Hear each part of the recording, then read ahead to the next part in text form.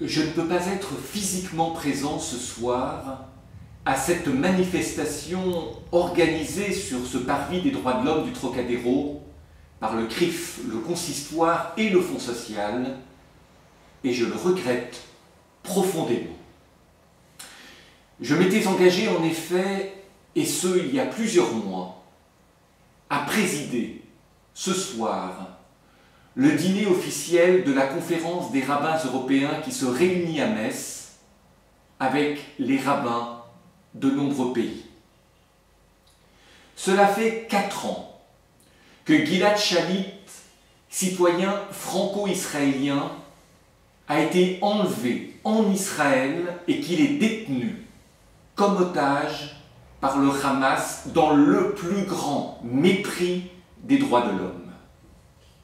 Gilad Shalit détient ce triste privilège d'être l'otage français le plus ancien à travers le monde.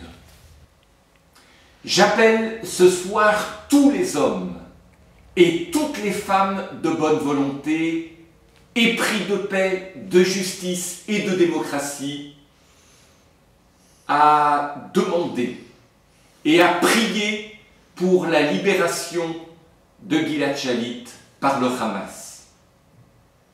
Nous voulons la fin de l'ostracisme qui frappe l'unique démocratie du Proche-Orient et qui aboutit trop souvent au refus glaçant de son existence.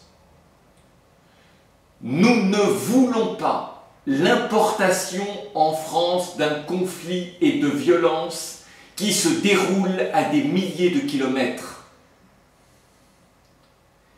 Et à tous ceux qui, de bonne ou de mauvaise foi, sont aujourd'hui des supporters directs ou indirects du Hamas, le rabbin que je suis a envie de citer cette phrase si connue du Midrash Agadol.